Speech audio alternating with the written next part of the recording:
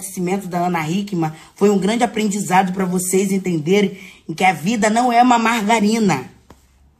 Para vocês pararem de acreditarem, idealizarem tudo que vocês veem por aí. Para! Ô, oh, acorda pra vida. É por isso que tem um monte de gente se matando. É por isso que tem um monte de gente que passam por diversos tipos de situações porque quer copiar a vida dos outros. Ah, porque eu quero ter a vida de fulano, não quero ter a vida de ninguém, eu quero ter a minha vida. Quero correr atrás dos meus objetivos. Porque eu sei que o que meu objetivo vai me levar. Engraçado. A, a questão da Luísa reverberou de uma forma surreal. A da Patrícia, não. Para nós, mulheres negras, as coisas são muito mais difíceis.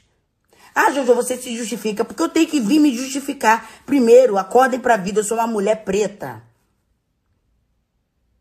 E as pessoas acham que é, é, que é mimimi e que a gente quer se vitimizar. Eu não preciso me vitimizar. Não nasci para ser vítima. E aí, lendo, a Patrícia está sendo condenada por se expor uma situação que ela vivia e que ela fez para alertar muitas mulheres. Aí teve comoção para Ana, mas para Patrícia não. Que passam por diversos tipos de situações, porque quer copiar a vida dos outros. Ah, porque eu quero ter a vida de fulano, não quero ter a vida de ninguém, eu quero ter a minha vida. Quero correr atrás dos meus objetivos. Porque eu sei que o que meu objetivo vai me levar. Engraçado. A, a questão da Luísa reverberou de uma forma surreal. A da Patrícia, não. Para nós, mulheres negras, as coisas são muito mais difíceis. Ah, Jojo, você se justifica. Porque eu tenho que vir me justificar. Primeiro, acordem pra vida, eu sou uma mulher preta.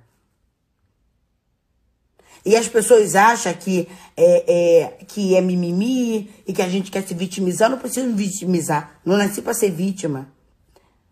E aí, lendo, a Patrícia está sendo condenada por se expor uma situação que ela vivia e que ela fez para alertar muitas mulheres. Aí teve comoção para Ana, mas para Patrícia não.